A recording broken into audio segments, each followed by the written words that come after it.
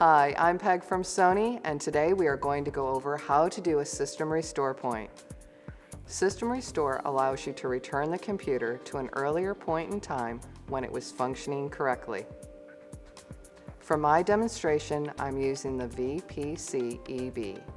Each VAIO model is slightly different and the operating system you are using could be a factor, so be sure to check the owner's manual or visit us at esupport.sony.com for specific instructions on your model and operating system.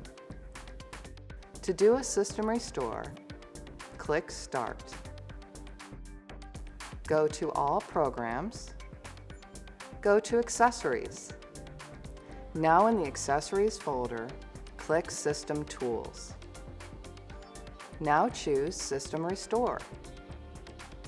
Locate Show More Restore Points and click in the box. Click Next. Now look at the list in the description column. Select an automatic restore point with a date when the computer was working properly by clicking to highlight the date. Click on Next. If the information is correct in the Confirm Your Restore Point window, click Finish. Click Yes. The computer will then automatically restart.